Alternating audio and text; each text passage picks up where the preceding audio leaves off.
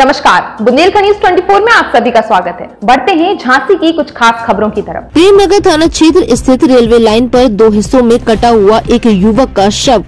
मिलने पर police team ने रेलवे लाइन पर पहुंचकर शव को बरामद किया। इसके बाद पुलिस प्रशासन के द्वारा युवक के शव की शिनाख्त कराई गई। शिनाख्त कराने पर 22 वर्षीय गोलू पुलिया नंबर 9 निवासी के रूप में युवक की शिनाख्त की गई। इसके बाद परिजनों के द्वारा बताया गया कि गोलू अहमदाबाद में मजदूरी करता था। एक माह पहले वह झांसी में आकर रह रहा था। वह शराब पीने का आदि था। गोलू विगत दिवस अपने दोस्तों के साथ बाहर गया हुआ था। ट्रेन के नीचे वह कैसे आया, इस बात की कोई जानकारी नहीं मिली है। पुलिस प्रशासन मामले की छानबीन में जुट चुका है।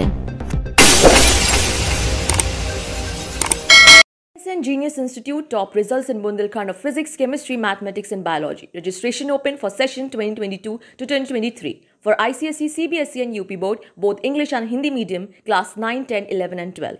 Main branch Mubarak Market, Sipri Bazaar. Other branches Adildar Nagar, Khati Baba, Atiatal and Ashik Charaha. Contact us as 94540 988 Do join us for quality education.